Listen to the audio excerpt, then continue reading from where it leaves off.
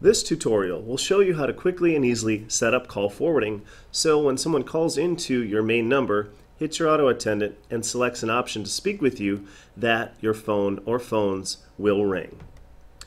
Get started at freedomvoice.com or freedomiq.com and click the login button in the top right hand corner. This will take you to WebLink. You'll get an initial login screen that asks for username, phone number, and password, or in some cases, in some systems, just phone number and password. Once you are logged in to the WebLink online control panel, mouse over the Settings tab, and under Delivery, choose Call Forwarding. Once you select Call Forwarding, make sure to choose the appropriate extension that you want to set up for call forwarding. In this case, we will go ahead and choose a personal extension, in this case 801. Currently, there are no call forwarding entries under the call forward list. To get started, we will click the Add New Entry button. We can choose between three call forward types, number, user, or group. If we want to do a simple cascade that starts at the top number and then works its way down until it ends the list and then goes to voicemail, we can use number or user. If we have to do some special calling, like simultaneous ring or a round robin rotation, we would need to choose a group that we would actually have to define first before choosing group. In this case, what we will do is we will just keep it simple and we will choose phone number. This can be a toll-free number or any local number, including the DID of your Freedom IQ phone or your cell phone, your home phone, etc. We will go ahead and put a phone in here. We typically won't use the add extension field. That's only if we, were, we are calling another phone system that requires us to enter an extension. So that's rarely used. Put in a description so I can say this is a cell phone. Choose our time zone and click save. That's all it takes to set up a simple call forward.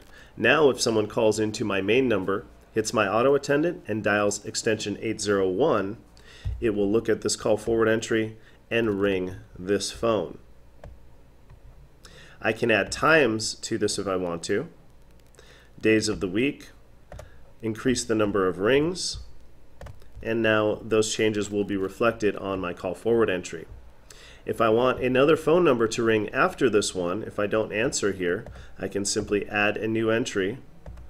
And user is only for Freedom IQ users that have a Polycom phone on their desk that they can log into. So it does require lo physically logging in to a Polycom phone. If you don't have a Polycom phone or don't want to log in, then you should choose number and always type in a phone number.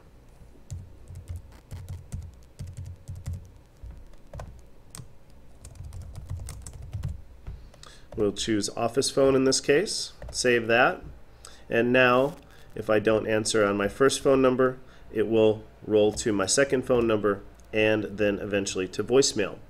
If I want the calls to remain in a queue for a certain period of time, I can enable call queuing, which I would turn on, and now I can set a maximum hold time for the callers before they go to voicemail. So in this case, it would cycle between both of these phone numbers for up to five minutes or until someone answers, and then eventually it would go to voicemail.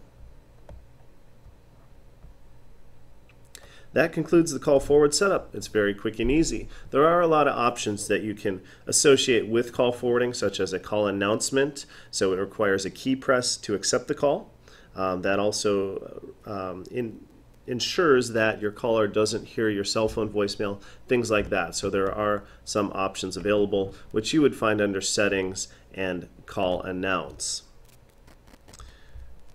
We won't get into these options here. We're just going to cover the call forwarding, which is now complete and active. And anytime you make a change, it, the change takes effect immediately. Thanks for watching.